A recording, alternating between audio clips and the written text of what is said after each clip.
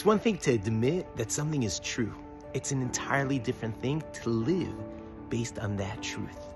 Many times we could admit that we maybe made a mistake, that the way we were acting was wrong, that the truth is with somebody else or with a different idea than what I originally thought, and say, yeah, that actually makes sense. That's true.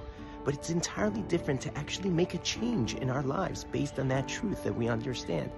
To change the way we've been talking to our spouses, to change the way we've been running our business, to change many different ways in our lifestyle based on a new truth that we were exposed to.